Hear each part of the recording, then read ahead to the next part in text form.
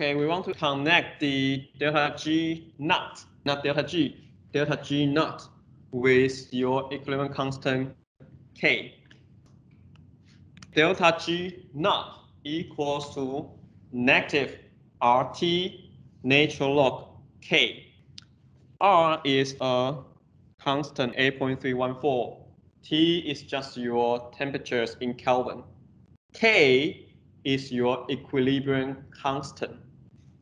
So the important thing here is actually the delta G naught, not delta G, is actually delta G naught. Okay, not delta G. The difference between delta G naught and delta G is that delta G naught means actually the reaction was conducted at 25 degrees C, 1 atm, but most importantly is that the concentration of all the species inside your equation equals to 1M. So that's so-called the standard condition. What it really means is that imagine today you have a given reaction, AA plus BB, that gives you CC plus DD. So if you initiate a reaction, in the end, it's going to reach its equilibrium equilibrium is always the final state of a reaction. So what you do is actually in the beginning, I dumping a lot of stuff. You means actually you put a reaction in a status that is actually very far away from your equilibrium. Then eventually these things will gradually go down to the energy level of your equilibrium states. So what it means is actually the delta G means actually, okay, I prepare my reaction at a standard condition then I let it run. In the end, it's going to reach equilibrium.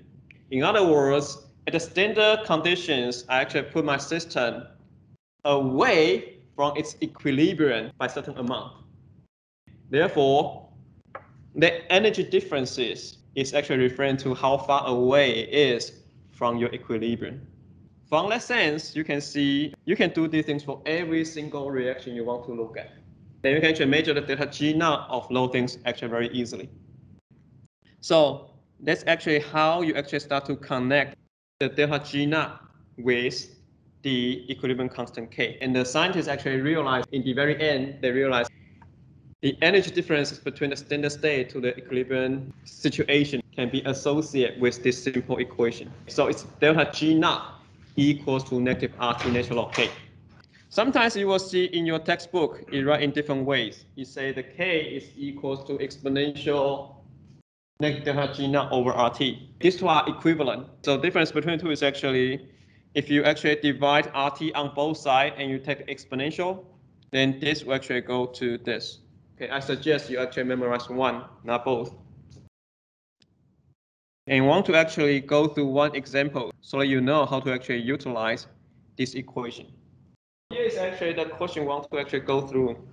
It says if let's actually a reaction has a delta H naught of negative 10 kilojoules per mole and delta S naught has a value of negative 500 joule per mole per K at 298 K. Assuming the delta H naught and delta S naught doesn't really change with temperature, you want to determine the temperature in degree C where the spontaneity of the reaction changes. So apparently from the question you know you need to calculate a temperature. But what is that temperature? So how do you actually solve this? So from the question, the things we can see is that it actually provides you delta H naught, delta S naught. In the beginning of the class, we say, okay, the most important equations of this chapter is actually delta G equals to delta H minus T delta S. So here they, give, it, they did not give you the delta H or delta S. Instead, they give you the delta H naught and the delta S naught. That means actually these things is at the standard condition. What it says, okay, you can actually have this, right? You have delta H naught, delta S naught. Therefore, you can calculate your delta G naught. So that's actually the first things that you want to see here. From here, you know the delta H naught is negative 10.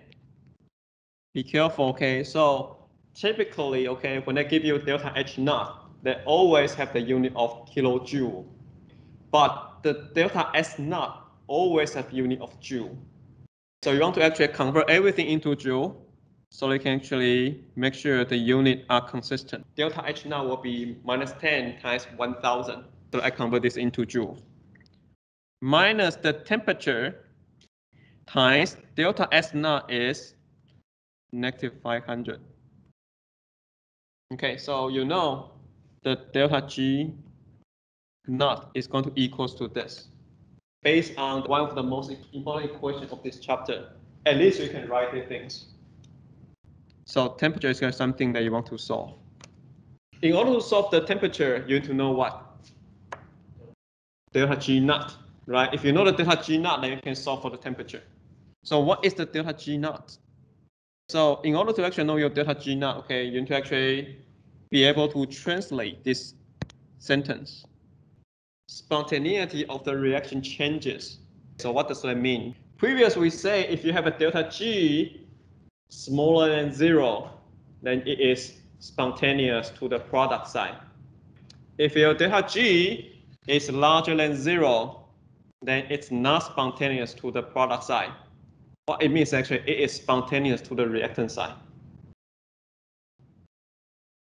From those two sentences, you should also see that if your delta G equals to zero, that is actually the point it's going to decide which direction you need to go, either go to a reactant or go to a product. The other way to describe the things I just say, okay, is actually it tells you that this specific sentence actually tells you that delta G naught, okay, equals to zero. So you need to actually learn to translate this sentence. Every time you see this sentence, the spontaneity of the reaction changes. That actually tells you that delta G naught equals to zero. So once you have that, then you know you can write this zero equals to negative 10,000 minus plus 500t, right? Therefore, you know your t is going to equals 20. So the 20 is actually at the unit of Kelvin. Therefore, it's going to equals to negative 253 degrees C. So it's less simple. The key is what? The key is that do you know that delta G naught is equal to delta H naught minus T delta S naught? Okay, so that's first thing, right? Second thing you know, okay, when the spontaneity changes, that indicates that delta G naught equals to zero.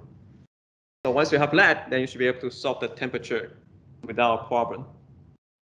So now with these things in mind, I want to say if the temperature is larger than 20 K, what it means your second term is going to be the dominant term.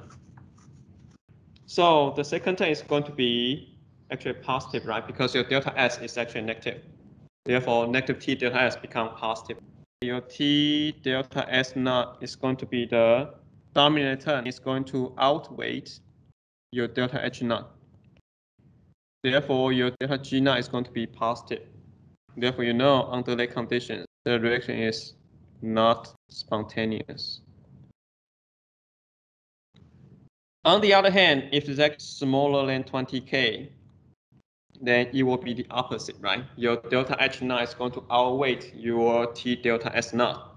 Okay, therefore your delta G naught is going to become negative and it become spontaneous.